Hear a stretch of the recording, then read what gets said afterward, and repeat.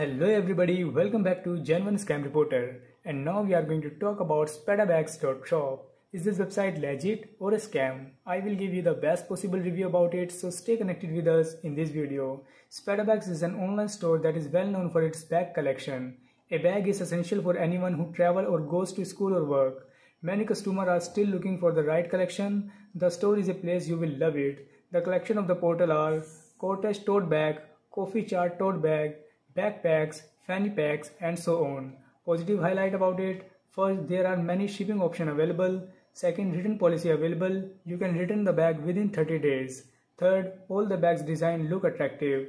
Negative highlight about it, first the email address is not provided by the portal, second contact number unavailable on the website. Third, we could not found any address detail about the store. Is this website legit or a scam?